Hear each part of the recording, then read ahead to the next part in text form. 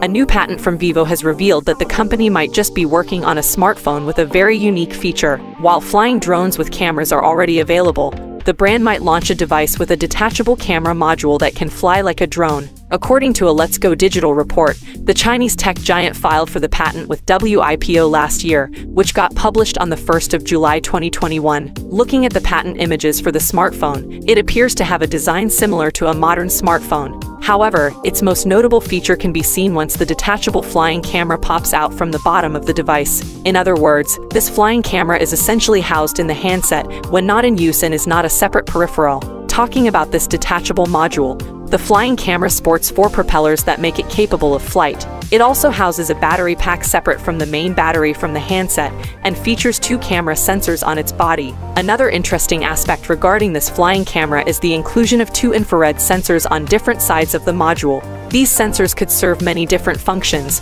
but its primary objective is likely to keep the small drone from bumping into other objects when flying, meaning, this flying camera could feature an automatic follow mode where it follows the user and flies automatically. It might also support air gestures as well but the patent filing doesn't reveal any finer detail regarding this. Notably, the design of this flying camera resembles the AirPix, which is a flying camera product. However, this device has a size of over 10 centimeters, so the version from Vivo would have to be much smaller to fit inside a smartphone. Unfortunately, it is unknown if the brand is actually working on such a product, although it does offer us a look towards unique futuristic devices that might be a reality in the next couple of years. Vivo does patent a lot of designs every year. Just because it patented this smartphone design doesn't exactly mean that it will become a reality. In fact, there's a higher chance this phone won't ever launch than it will, but we'll see.